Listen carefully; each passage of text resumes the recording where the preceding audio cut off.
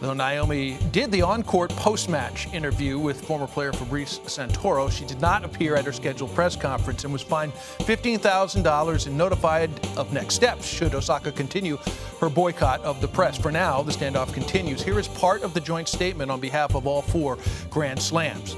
The Roland Garros teams asked her to reconsider her position and tried unsuccessfully to speak with her to check on her well being, understand the specifics of her issue, and what might be done to address it on site. We've advised Naomi Osaka that, should she continue to ignore her media obligations during the tournament, she would be exposing herself to possible further code of conduct infringement consequences. As might be expected, repeat violations attract tougher sanctions, including default from the tournament mm. and the trigger of major offense investigations that could lead to more substantial fines and future Grand Slam suspension.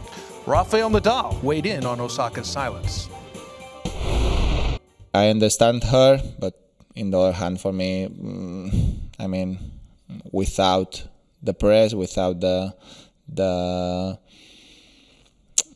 the the people who normally is traveling or are uh, mm, counting, I mean, uh, are writing the, the news and the achievements uh, that we are having around the world, uh, probably we will not be the the athletes that we are today. We don't gonna have the the the recognition that we have around the world, and we will not be that popular. No, so uh, I understand her. In the other hand, I I have my my point of view that uh, the media is a very important part of our sport too.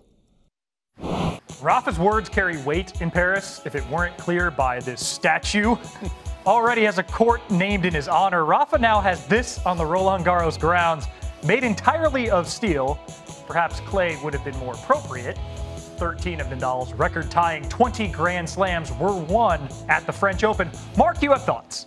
Yeah, I do. So the Nadal statue is striking. There's no doubt about that. Just check it out. But to me, it evokes more Game of Thrones than King of Clay's throne. Tell me the artist was not inspired by this White Walker.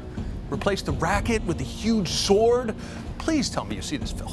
I do, but is it inaccurate? You have the Clay King and a, a, a, you know a legion of the Night King you see either one in your path, the end feels inevitable. Nadal's dominance is a decades long team in Paris.